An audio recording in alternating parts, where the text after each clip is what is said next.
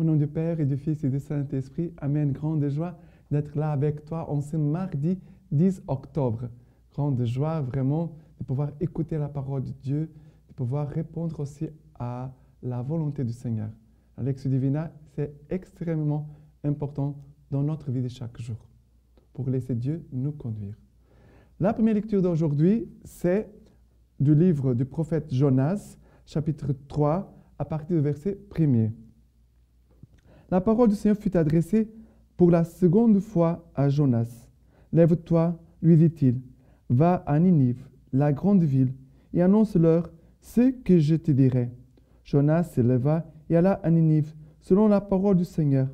Or, Ninive était une ville divinement grande. Il fallait trois jours pour la traverser. Jonas pénétra dans la ville. Il y fit une journée de marche il prêcha en ces termes. Encore quarante jours et Ninive sera détruite. Les gens de Ninive crurent en Dieu. Ils publièrent un jeûne et se revêtirent des sacs, depuis les plus grands jusqu'aux plus petits. La nouvelle parvint au roi de Ninive. Il se leva de son trône, quitta son manteau, se couvrit d'un sac et s'assit sur la cendre. Puis l'on cria dans Ninive et l'on fit par décret du roi et des grands cette proclamation. Hommes et bêtes, gros et petits bétail, ne goûteront rien, ne mangeront pas et ne boiront pas d'eau.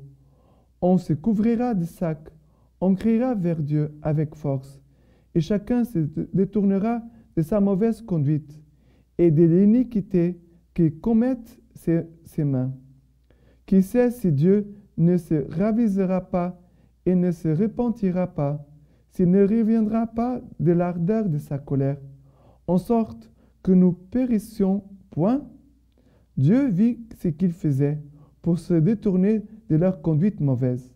Aussi Dieu s'est repenti du mal dont, dont il les avait menacés. Il ne le réalisa pas. Alors, ce qui me touche, c'est que Jonas après avoir fui de la présence du Seigneur, maintenant, il va écouter la seconde fois la parole du Seigneur, Seigneur et maintenant, il va obéir, il va répondre à cette parole qui lui fut adressée.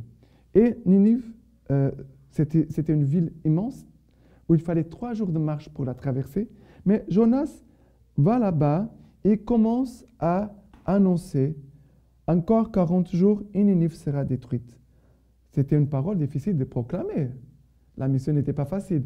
De dire aux gens, Dieu t'aime, Dieu est miséricordieux, Dieu nous pardonne nos péchés, Dieu est amour et tendresse, c'est facile à annoncer.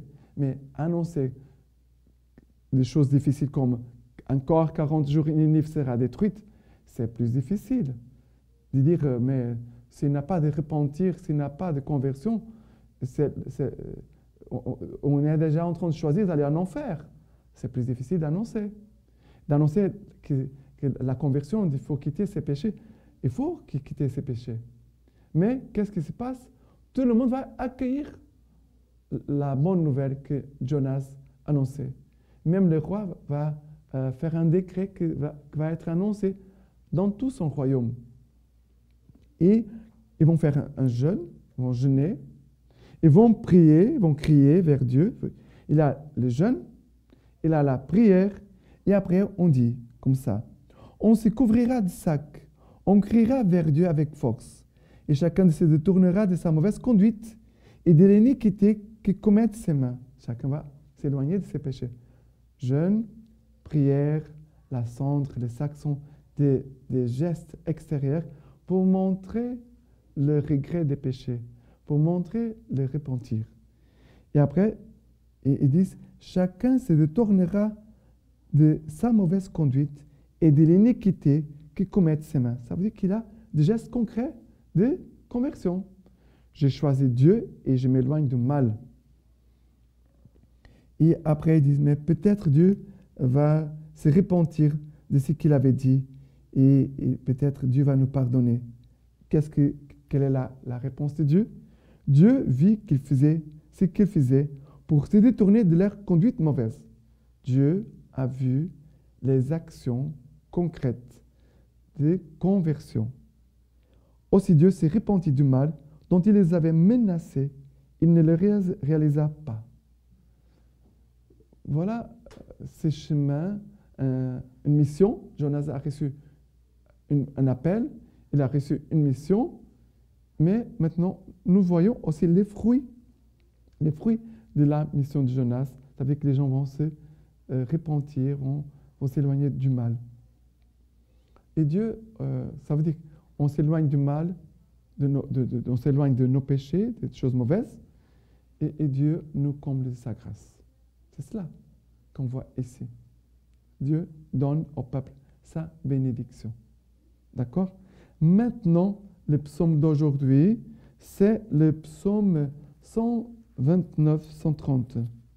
Le psaume 130 nous dit ceci. Les profondeurs, j'écris vers toi, Seigneur. Seigneur, écoute mon appel. Que ton oreille se fasse attentif à l'appel de ma prière. Si tu retiens les fautes, Seigneur, Seigneur, qui subsistera? Mais le pardon est près de toi pour que demeure ta crainte. Après le verset 7 et verset 8. Car près du Seigneur est la grâce, près de lui abonde le rachat. C'est lui qui rachètera Israël de toutes ses fautes. Car près du Seigneur est la grâce, près de lui abonde le rachat, le pardon, la grâce et le pardon.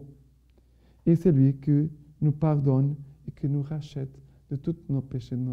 Ça, ça veut dire que le Seigneur, il, vraiment, quand il a déjà les désirs de conversion, c'est très important. Quand quelqu'un prend la décision de se convertir, de renoncer au mal et de choisir un bon chemin, Dieu déjà envoie sa grâce pour aider cette personne. Dieu nous envoie son secours. Dieu nous, communique sa force pour mettre en pratique les bonnes décisions, les, les, bons, voilà, les bonnes décisions que nous avons prises. D'accord? Et euh, maintenant, l'évangile d'aujourd'hui, c'est Luc chapitre 10, à partir du verset 38. Comme il faisait route, il entra dans un village et une femme nommée Marthe le reçut dans sa maison. Celle-ci avait une sœur appelée Marie, qui s'étant assise au pied du Seigneur, écoutait sa parole. Marthe, elle, était absorbée par les multiples soins du service. En te revenant, elle dit Seigneur, cela ne te fait rien que ma sœur me laisse servir toute seule. Dis-lui donc de m'aider. Mais le Seigneur lui répondit Marthe, Marthe, tu te soucies et t'agites pour beaucoup de choses. Pourtant, il en faut peu, une seule même. Marie, qui a choisi la meilleure part, elle ne, ne lui sera pas enlevée. Jésus était dans la maison. Je n'imagine pas une maison immense. J'imagine une petite maison.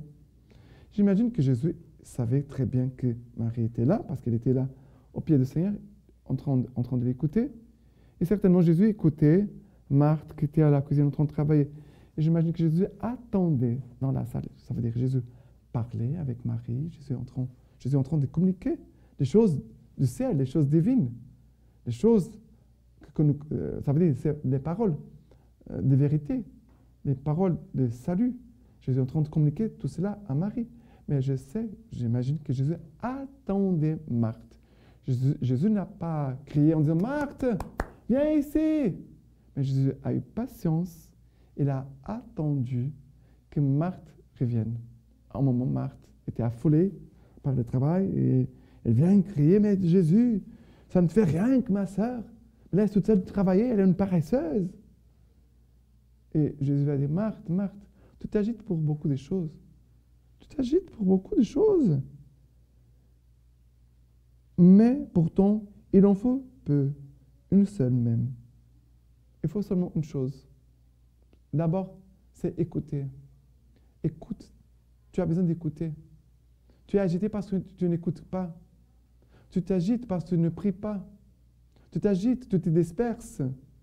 Après, qui est dispersé, qui est agité, va faire des bêtises, va, dire des paroles agressives, va avoir des gestes euh, méchants vers les autres.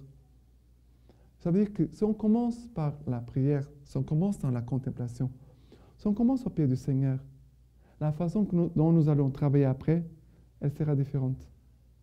D'abord la prière, après le service, Av- avoir du temps pour le Seigneur et après l'action. Contemplation et action. Il faut les deux. Il faut les deux.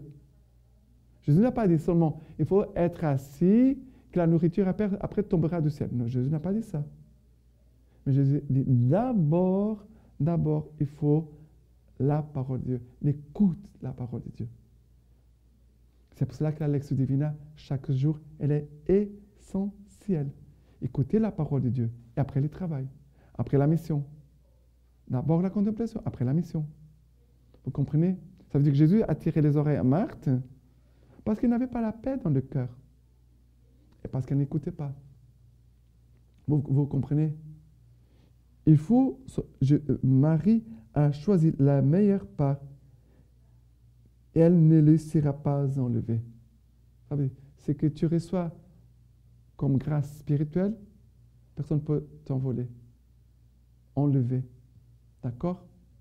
Voilà, c'est que le Seigneur nous communique à travers ces deux sœurs et, et nous devons être à la fois Marthe et Marie, mais Marie en premier, Marthe après. D'accord?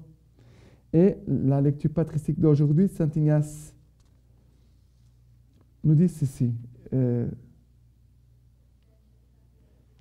J'ai de grandes pensées en Dieu, mais je me modère moi-même pour ne pas pour ne, pour ne, ne pas me perdre par une vantardise, car maintenant, surtout, il me faut vivre dans la crainte et ne pas écouter ceux qui chercheraient à me rendre orgueilleux, car ceux qui me parlent ainsi me mettent au supplice.